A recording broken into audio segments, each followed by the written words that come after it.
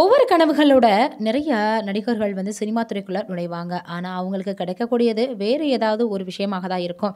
நடிகர் ஆகணும் அப்படின்னு உள்ள நுழைந்தால் அவங்களுக்கு வந்து வசனம் எழுதக்கூடிய வாய்ப்புகள் கூட கிடைக்கலாம்.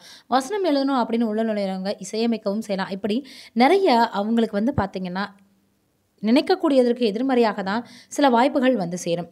அதே போல் பிரபு சாலமன் அவர்களினுடைய இயக்கத்தில் வெளியான திரைப்படம் தான் விக்ரம் பிரபு. இதில் கலை குடும்பத்தின் வாரிசான விக்ரம் பிரபு அவர்கள், பிரபு அவர்களினுடைய மகன் அப்படின்ற ஒரு பெயரை வந்து அடிப்படையாக வச்சுட்டு தமிழ் சினிமாவுக்குள்ளே வந்து உள்ள நுழைஞ்சார் கும்கி திரைப்படம் வந்து விக்ரம் பிரபுவுக்கும் சரி, அதில் கதாநாயகியாக நடிச்சிருந்த லக்ஷ்மி மேனன் அவர்களுக்கும் சரி, நல்ல ஒரு பெயரை பெற்றுக் கொடுத்தது.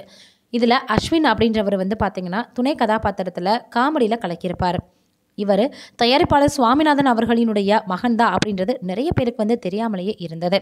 அதற்கப்புறமாக இவர் நையாண்டி, முப்பொழுதும் உன் கற்பனைகள், வந்தான் வென்றான், நெடுஞ்சாலை போன்ற திரைப்படங்களில் நடிச்சிருந்தார் பாஸ் என்ற பாஸ்கரன் அப்படின்ற படத்தின் மூலமாக தான் அஸ்வின் அவர்கள் தமிழ் சினிமாவுக்குள்ளேயே உள்ள நுழைஞ்சாரு.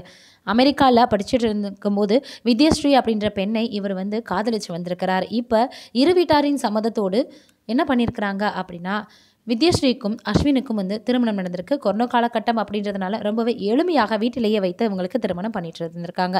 அதோட இவருக்கு கும்கி படம் தான் பெயரை எடுத்துக் கொடுத்தது அப்படின்றதுனால, அஸ்வின் அவர்கள் தன்னுடைய பெயருக்கு முன்னாடி கும்கி அப்படின்ற ஒரு அடைமொழியும் சேர்த்துக்கிட்டாரா அதனால இவர் கும்கி அஸ்வின் அப்படின்னு தான் இப்போ அழைக்கப்படுகிறாரா இவர் திருமணத்தின் போது எடுத்த புகைப்படங்கள் தான் இப்போ சமூக வலைதளங்களில் ரொம்பவே வைரலாக பரவி வந்துட்டுருக்கு.